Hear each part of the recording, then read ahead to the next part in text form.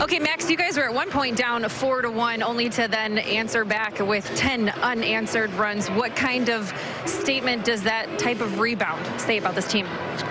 I mean, I, don't think stuff like, you know, runs being scored on us lets us get phased. I'd say we just, you know, we turn the page as fast as we can um, and stay in the present, you know. Runs are going to be scored on us, but uh, we try and, you know, bounce back and score them back, you know, immediately. Regardless of the score, if we have 10 runs, you got to always get them back. For you, a huge night at the plate. Three hits, four RBI, all with a sore knee, mind you. How locked in and how good were you feeling at the plate tonight?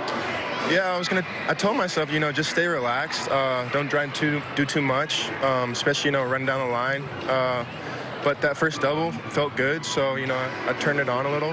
Um, but yeah, just trying to stay as calm as possible, see the ball, and stuff will go our way.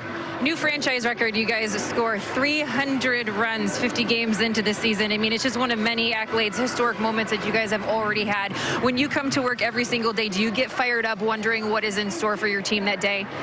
Yeah, I'm just happy to be here, you know, happy to get to go to the office every day with this group of guys is fun, you know, regardless of what we did the day before. Um, you know, we just we don't have a recollection of what we did the day before. Um, so every day it's just going out there having fun and playing, you know, kids' games. So and everyone's smiling, laughing. So it's it's just good vibes. Well, it's working out quite well. Keep it going. We appreciate your time, Max. Thank you. Have yep. a good one. Max Kepler, huge day at the plate. That home run, double, four RBI, and of course a sac fly to go with it. Doing a little bit of everything here tonight in the win, guys.